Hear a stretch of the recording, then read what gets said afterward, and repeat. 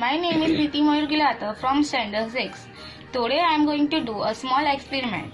For that we need glass, colored water, plate, matchbox, candle. And now I am going to put the colored water in the plate.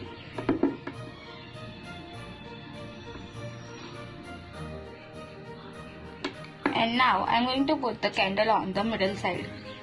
And now I have to burn it.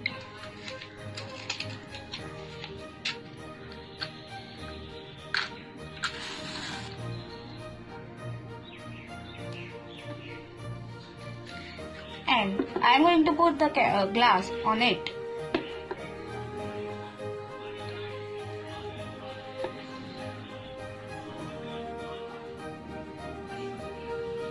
As you can see, the water is coming into the glass slowly.